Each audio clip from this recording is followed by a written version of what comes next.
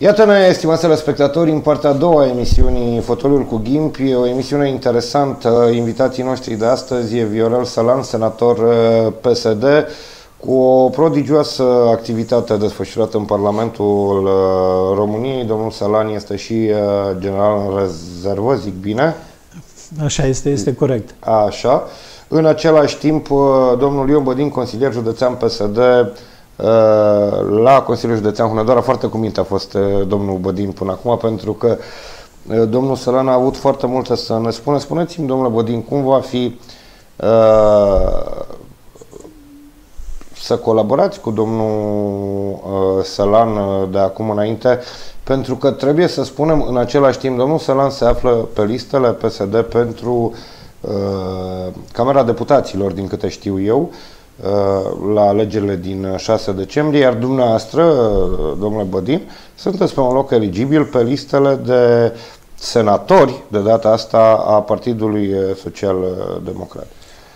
Da, așa este. L-am ascultat cu multă atenție pe colegul meu, pe domnul senator, o activitate extrem de prodigioasă. Parcă nu-ți vine să-l întrerupe, așa? Da, da, da, da, și spun, uh, o activitate prodigioasă, se vede că este un persoană foarte aplicată, cadrul aplicată, militar, metod, cadrul metodică, dacă metodic, zic bine, da. Uh, exact, uh, cu foarte multe cunoștințe dobândite în uh, Mă rog, militar de carieră, nu? Sigur, adică se știe că oamenii ăștia sunt ordonați. Facem un pic de schimb de locuri. Domnia sa va candida în viitorul Parlament pentru Camera Deputaților. Eu am onoarea să fiu pe locul pe care era dânsul în 2016 de candidat uh, pentru Senatul României pe locul 2, după binecunoscutul senator de uh, Hunedoara, uh, Cristi Răzmeriță din da. Valea Jiului. Și spuneam că le ascultam cu multă atenție și dacă va da Dumnezeu și românii și în principal locuitorii județului Hunedoara vor înțelege ceea ce a făcut Partidul Social Democrat în, până acum în, legislativ și în, în plan administrativ local și județean și vom primi voturile suficiente pentru a reuși să obținem scorul care l-am obținut în 2016, patru deputați și doi senatori și voi fi, în, voi fi trimis în Senatul României. Sigur că am multe de învățat din ceea ce a spus aici domnul Săran și sper să nu fac de rușine așa cum n-am făcut nici în în legislațiile... Nu m-am gândit la chestia asta când v-am, uh, când uh, v-am invitat, că s-ar putea să faceți tandem unul la Camera Deputaților, nu la Senat. Acum îmi dau seama de lucrul ăsta. Da, să, zic să... Același lucru l-am făcut și în uh, plan local, având trei mandate de consilier local, două în perioada 1996-2004 și ultimul un mandatul de succes, cel mai, al celui mai de succes primar din, din județul Nedoara, Dan Bobovuțanu, care a câștigat Uh, prim, uh, primăria Hunedoara cu un vot covârșitor, peste 67%, 14.500 de voturi față de locul 2, 3.000 de voturi, având al șaptelea scor, scor pe țară între municipiile cu populație între 50.000 și 100.000 de locuitori și al 11-a pe țară ca municipii din... Dacă Hunedoara votează așa în 6 decembrie, asigură clar o jumătate da, de mandat de, o jumătate de mandat de deputat. Corect. Hunedoara a avut un rol important și în 2016 municipiul Hunedoara, da. în voturile care au venit la coșul uh, pentru Parlamentul României, având și atunci, dacă rețin, peste 12.000 de voturi, precum și cum a avut și în la actualele alegeri locale, unde am adus la coșul județului numai puțin de 10.200 și ceva de voturi pentru Partidul Social Democrat și cu siguranță hunedorenii care mă cunosc, nu numai cei din municipiu, dar și din județ, ne vor trimite acolo unde trebuie să fim, pentru că, așa cum a fost și în, uh, la alegerile locale și spuneam și aici în studioul la dumneavoastră, Partidul Social Democrat în județul Hunedoara a făcut alianță cu hunedorenii, așa cum vor face în continuare cu românii, pentru România, pentru ca ei să aibă un, uh, un uh, trai mai bun. Sigur că am făcut un pas în fața actualmente, da, am candidat pentru un post de consilier județean, am fost pe locul 3 pe listele de consilier județean după domnul președinte Nistor, care a și devenit uh, prin votul nominal președinte Consiliului Județean și după senatorul Răzmeriță. Sper ca în activitatea care acum am început-o, vineri am depus uh, jurământul în, de credință pentru postul de consilier județean. În activitatea, dacă voi rămâne în continuare în Consiliul Județean, să am o activitate la fel cum am avut-o și în Consiliul Local Hunedoara, unde am avut pe parcursul celor patru ani câteva uh, proiecte de hotărâre care mi-au aparținut personal și aici am uh, refer la acordarea unor tit titluri de cetățean de onoare unor uh, personalități marcante ale mediei hunedorene, domnul Nicolae Stanciu și regretatul Victor Niță, care din păcate s-a stins în urmă cu vreo 2 ani, precum și a profesoare universitare Mihaela Miroiu, care este hunedoreancă de-a noastră, am fost colegi de grădiniță și de uh, liceu, dar și a unui uh, sportiv, e vorba de antrenorul de tenis de câmp uh, Adrian Marcu. Am avut și alte lor de cuvânt în Consiliul Local și alte amendamente și s-a văzut prin ceea ce s-a realizat în cei patru ani în Hunedoara, peste 223 de proiecte la nivelul municipiului și nouă Consiliul Local, din care nu mai fac uh, parte și parcă undeva uh, regret, regreta și Dan Boboțan, ce ai fost unul dintre cei mai buni, cei mai activi consilieri locali ai noștri în Consiliul Local, au nu mai puțin de 80 de proiecte lăsate pentru a dezvolta Hunedoara în următorii patru ani prin cele peste 67 de milioane de euro atrași. Același lucru sper să-l facem și în Consiliul Județean, cum spunea domnul președinte care a preluat mandatul de la tot de la conducerea PSD-ului, că am muncit foarte bine în cei patru ani de zile 2016-2020, a lăsat uh, peste 20 de proiecte care trebuie continuate. Noi sperăm ca să aducem și mai mulți bani din fonduri, uh, pe fonduri europene, pentru că județul Hunedoara are nevoie de dezvoltare în continuare.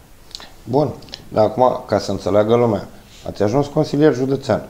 Da. Așa, la scurt timp vreți senator.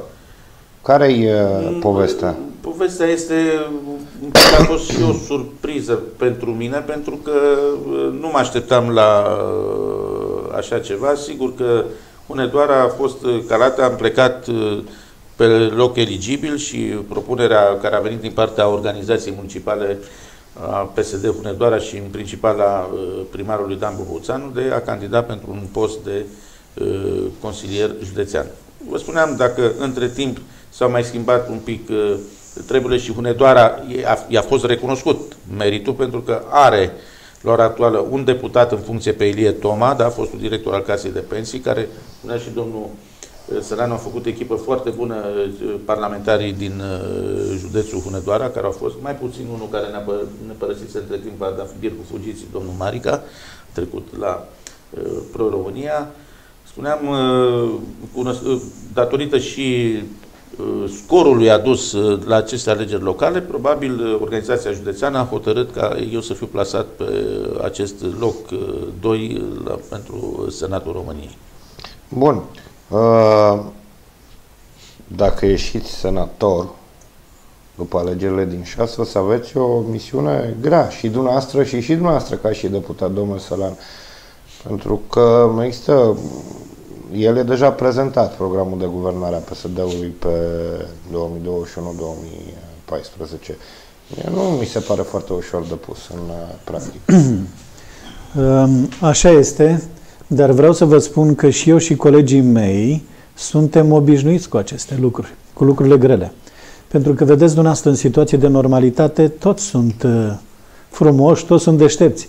Numai atunci când trebuie să le aduci la normalitate anumite aspecte care nu funcționează. Ori noi am probat din plin, atât uh, pe timpul când ne-am aflat în cei patru ani la conducerea Consiliului Județean, dar și la nivelul unităților administrativ-teritoriale și slavă Domnului s-a văzut la alegerile locale, hunedorenii au votat într-adevăr pe cei care îi reprezintă cel mai bine și au votat continuitatea. Înseamnă că proiectele noastre, care le-am făcut pentru hunedoreni, uh, nu-i niciun secret și hunedorenii cunosc acest lucru. Banii care au venit în județul Hunedoara în ultimii patru ani echivalează cu toți ceilalți ani din 1990 uh, până în, 1000, până în 2016. Eu doream să scot în evidență, ați făcut o, o remarcă. Uh, nu va fi ușor, așa este, dar uh, noi suntem o echipă. Am fost o echipă și vom fi o echipă.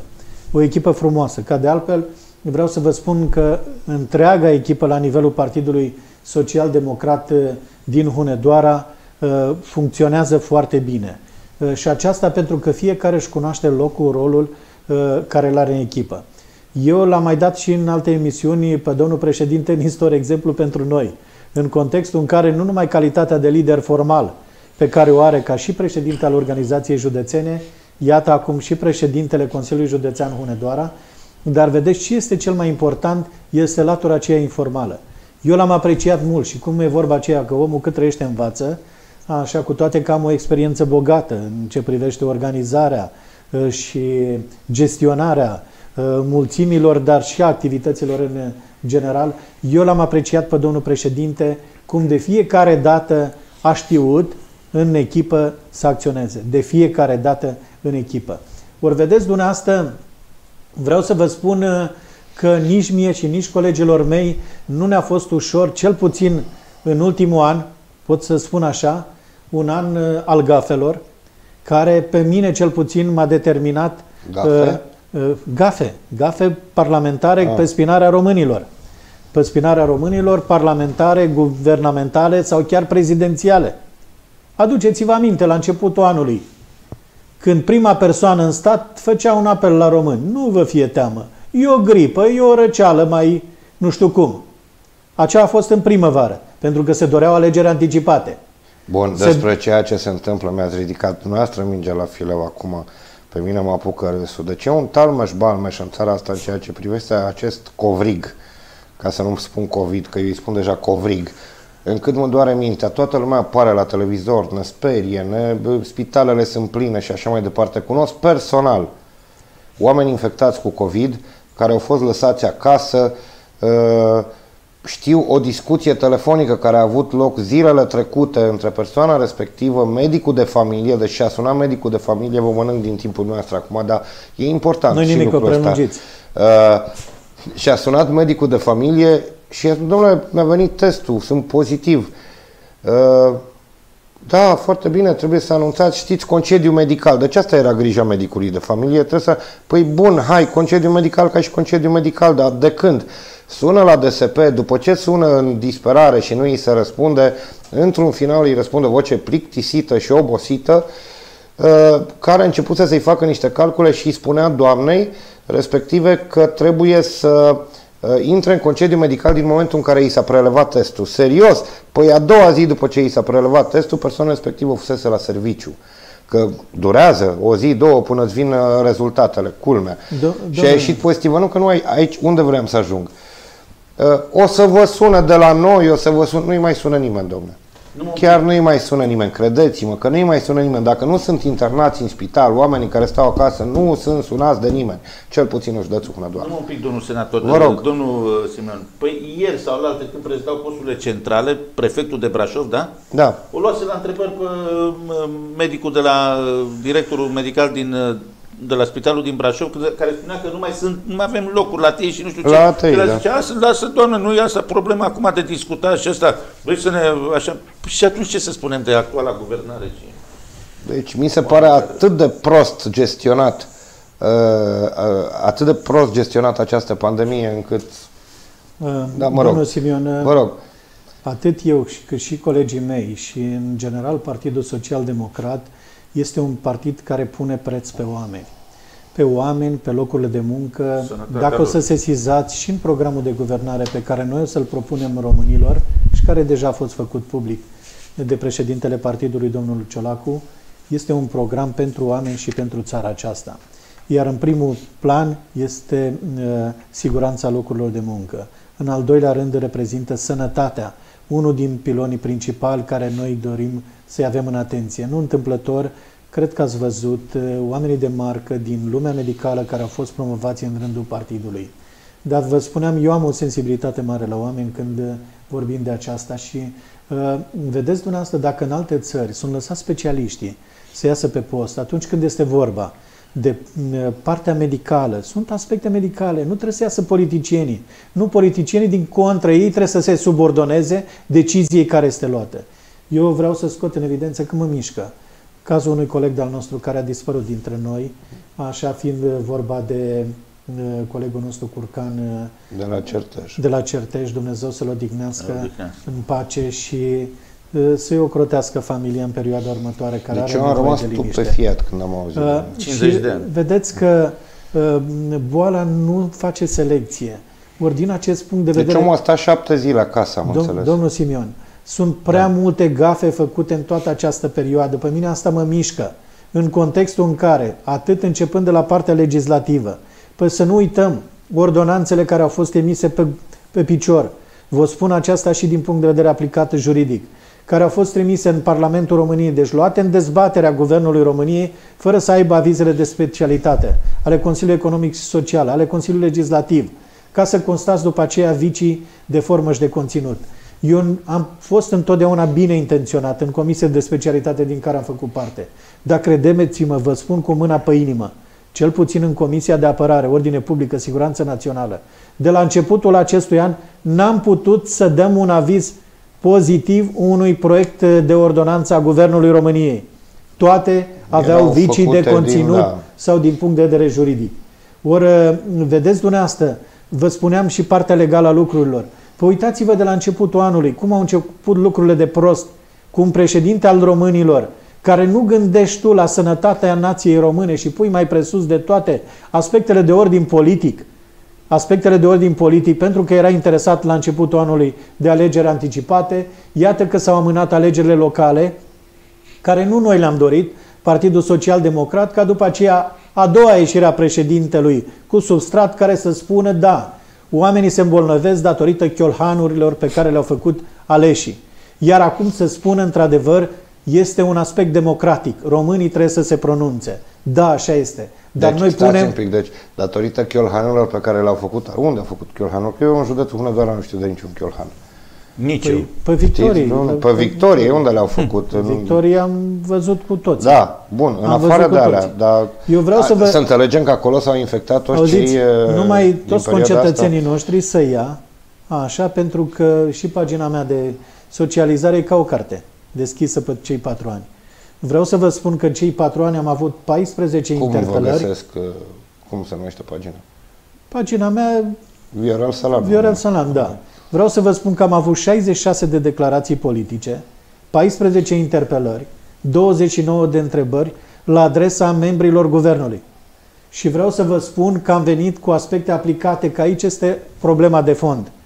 Pentru că activitatea noastră nu a fost ruptă de realitate, ci am putut să mergem în Parlamentul României cu aspectele concrete din județul nostru.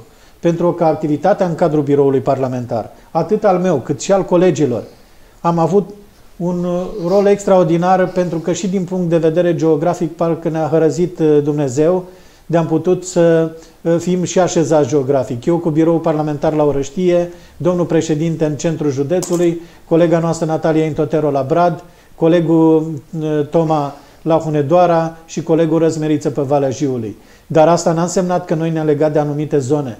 Noi ne-am regăsit și în Valea Jiului, la biroul parlamentar, unde să stăm de vorbă cu oamenii și vreau să vă spun că multe din problemele care le-au ridicat oamenii au devenit inițiative legislative. Foarte multe lucruri care le-am găsit încurcate anterior. Vreau să vă spun numai una singură, cea legată de retrocedările cetățenilor pe tronsonul de autostradă de la limită de județ cu uh, Alba până la Deva, unde s-a construit tronsonul de autostradă fără să existe expropierile făcute din punct de vedere legal. Adică și aici, ei au datorită intrat cu cadrului autostrada normativ, pe terenul oamenilor. Sau... și mă uitam, primul lucru care l-a făcut președintele Nistor când am intrat în Parlamentul României, am organizat o întâlnire la Giorgiu să găsim soluții. Chiar dacă până în momentul de față n-am rezolvat în totalitate această problemă, că e birocrația aceea care există încă în România, există încă în România, așa, pentru că am constatat pe actualul guvern, proiect de lege care era necesar pentru românii din această zonă și era ținut într-un sertar la un funcționar din cadrul guvernului, uh, din cadrul Ministerului Transporturilor. Dar altceva doream să scot în evidență. Am avut o întrebare, o întrebare pentru actualul ministru al economiei. Așa, legată, dacă nu mă înșel, cu privire, mi-au ridicat colegii primari și nu numai ai noștri, că ați văzut și președintele Nistor, tot ce a făcut, n-a făcut numai pentru unitățile administrativ-teritoriale de o anumită colo- coloratură. Pentru toate administrațiile publice locale, că noi punem mai presus de toate oamenii. Și vreau să vă spun că uh, sunt uh, în județ uh, vreo 13-14 unități administrative de comună și una de orașul care aveau probleme cu uh, infrastructura de gaz. Și am pus o întrebare uh, ministrului economiei. Surpriza mea cea mare a fost ca răspunsul care să-l adreseze a fost, deci a plecat de la un parlamentar și antetul era din circunscripția 22 Hunedoara și mi-a adresat răspunsuri la Harghita. L-am sunat, credeți-mă că n-am putut să stau asta și i-am spus, domnule ministru, cu tot respectul care vi-l port, păi, domnul senator, dar știți că sunt foarte multe documente. I-am spus, domnule, da, da, asta nu vă absolvă de răspundere. Hunedoara, nu Acel scrie, ministru, da. nu știu cum îl e denumit el, cu Hai. Să mă rog, trecem peste. Să trecem peste asta, pentru că nici mie nu-mi plac lucrurile acestea. Deci fondul problemei, noi, noi suntem alături de oameni. Și asta o vom face în permanență. Și este lucru cel mai important, colaborarea care există atât la nivel parlamentar, cât și cu autoritățile publice locale, așa de comună, oraș și municipiu, dar și la nivelul... Să înțeleg că acest program de guvernare al PSD-ului pentru 2021-2014 se referă... 2024. Am zis 2014, da. m-am defazat. 2024 se referă la uh, strig la bunăstarea oamenilor? Uh, nu, acest program uh, se referă într-adevăr, bineînțeles că pune în centru atenției cetățeanul. Este un Așa program cum, anticriză. Cum exact. Cum am spus anterior, în primul rând uh, noi ne axăm pe siguranța locurilor de muncă. Pentru că vedem ce s-a întâmplat în ultima perioadă. Numai în această perioadă au fost desfințate peste un milion de locuri de muncă. Și ele probabil că tot mai, mai merge mai departe. Nu mai departe să luăm ce înseamnă Horeca. Tot ce a însemnat în, în această perioadă a pandemiei. Pentru că noi nu o să construim, noi am uh, dărâmat cu tot, dărâmat uh, totul, cum s-ar spune. Ori pe lângă aceasta... Și așa eram o societate de consum. Păi vedeți, și închisă păi vedeți. s-a dus. De asemenea, în așa... Un uh, minut maxim mai Un alt da. program care noi îl avem în atenție este cel uh, anticovid. Și nu întâmplător în rândurile noastre sunt coptați niște oameni de marcă. Dar trebuie să avem în vedere și uh, politica demografică. Așa. Până în 2050, populația României va ajunge la 15 milioane de locuitori. Da, pentru că a scăzut natalitatea. Ori și Partidul Social Democrat alocă un spațiu foarte important uh, din acest punct de vedere uh, creșterii natalității. Uh, și să nu uităm partea de sărăcie, unde peste 1,8 milioane de persoane se află în această situație, conform barometrului Eurostar, iar Partidul Social Democrat și din acest punct de vedere vom uh, avea în atenție un program foarte atent. Totodată să nu uităm puterea de cumpărare. Puterea de cumpărare prin politicile care au fost duse recent. Eu nici nu vreau să gândesc, păi uitați-vă dumneavoastră. Era obligatoriu ca până în luna decembrie să se prezinte în Parlamentul României proiectul bugetului de stat a apărut. Și spune domnul cât și de ce? Nu a apărut. Și? Acum, una dintre motivații, eu nu mă transform în avocatul nimănui, este că ar fi bine ca el să fie votat de către nou Parlament. Auziți, să fie cu iertare, dar atunci cum să funcționeze statul păi, român? Că normal, știți, în momentul în care da. ai buget, poți să mergi numai cu un anumit Cât e? 11-12% poate exact. din bugetul anului trecut și îl împingi până anul viitor. Exact. Ori în asemenea situație de criză în care ne aflăm noi, numai de așa ceva nu avem nevoie. Numai de deci, așa practic blochez toate plățile exact. în ianuarie, Pentru februarie. că noi am fost deschis, uitați-vă și în ultima perioadă, inclusiv la rectificarea bugetară care a fost făcută la începutul lunii septembrie. Noi am venit chiar și cu în, în, pe proiectul respectiv. Oricum mai e nevoie de o rectificare bugetară. Știți că nu am fost consultați. Da, nu mai ne-am trezit cu proiecția peste noapte să o votăm. Dar noi n-am omis de cele două legi care așa ceva n-am văzut până în momentul de față. Legi Ehm, care au fost promulgate de președintele românilor, publicate în monitorul de oficial și tu să vii cu ordonanțe prin care să le anulezi. Așa cum a fost legea cu ehm, majorările de pensii cu 40% și respectiv dublarea alocațiilor pentru copii. Păi. Vom promite că vom face aceste lucruri. Noi ne ținem de cuvânt în fața Despre României. Despre lucrul astea vom mai păi, vorbi în senat, campania domnul electorală. Senator, domnul, domnul scurt, cum se 10 secunde. guvernul uh, bugetul pe anul viitor când ei în primele 9 luni ale anului deficitul bugetar a ajuns uh, la 6,38% din PIB, uh, împrumutându-se în această perioadă peste 103 miliarde de lei care nu se, re, nu se regăsesc niciunde. Exact. E, În sunt. economia Nu se regăsesc. Se regăsesc A, prin se buzunarul. regăsesc, Se probabil, regăsesc da, liniștit. În subteran, Domnule da. Badin, uh, Bădin, uh, domnule uh, uh, senator, vă rog foarte pe scurt, începem cu domnul Bădin, un mesaj către cei care s-au uitat la noi sau Păi, în eu acest sper moment. ca Dar nu electoral hunedorenii, să fie. da, hunedorenii care ne-au votat la alegerile locale și nu numai, dându-se seama de ce se întâmplă acum în continuare la nivel național, s- prin votul lor să iese la alegerile, chiar dacă suntem în pandemie și se pare Atenție că... să nu fie mesaj electoral. Da, deci îi așteptăm la, la vot pe toți și să voteze ceea ce cred de cuvință în direcția în care doresc să se îndrepte județul Hunedoara și România. în Oricum asta următorii ani. face toată lumea, votează cu cine dorește, cum dorește în cabina de vot, omul Normal. este În singur. primul rând să fim sănătoși. Uh, Asta e cel mai important. Domnule Sălan, Eu sunt convins și din câte cunosc uh, aplicat, uh, pentru că toată activitatea mea uh, și cât am fost uh, comandantul jandarmeriei în județ 22 de ani, am fost alături de uh, concetățenii noștri la greu. Nu la bine, că la bine toată lumea se pricepe. Dorind să continuăm tot împreună să dezvoltăm și mai departe județul Hunedoara. Dorim, așa cum menționam, ca munca și demnitatea uh, socială să reprezinte starea de normalitate în județul Hunedoara. Iar votul dat în luna septembrie, în 27, reprezintă un act de normalitate. Românii, hunedorenii, într-adevăr, știu ce au de făcut.